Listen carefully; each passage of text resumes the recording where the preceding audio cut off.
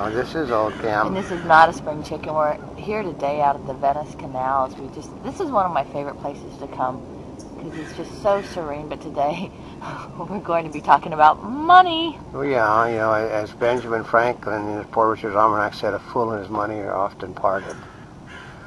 Yeah, which gets shown over and over again. A lot of times you always hear from people that tell you advice. They said if you want to know about, well, actually, if there's if you want to know about something, go to somebody that knows about it. Yeah, and if you're listening to people on television, you have to remember that most of the people on TV, on the financial channels, are making their money off of things going up, not going down.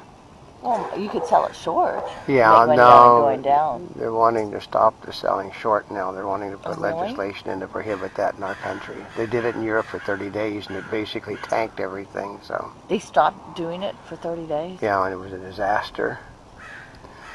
But, um, you know, like we got, you know, okay, anybody that goes to the grocery store knows there's inflation. Yeah, if you don't know there's inflation, somebody else is doing your shopping If you go and, to, and paying the bills. you know, if you buy gas, there's inflation. If you buy clothes, there's inflation. You go to the department store, there's inflation. But according to statistics, we have a negative inflation rate.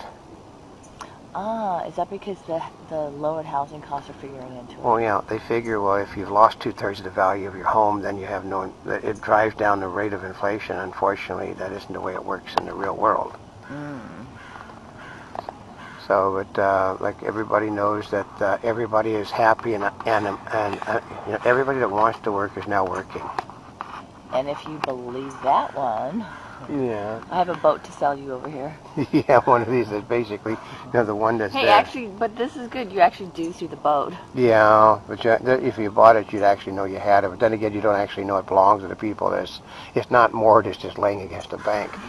But um, according to the thing, housing values are all up. Yeah, and see, part of it is, is sometimes when you listen to those, I mean, granted, we listen to a lot more news because that's what we do. We cover news all the time. And so we see where they create the reports and then they redact or change the reports a few days later.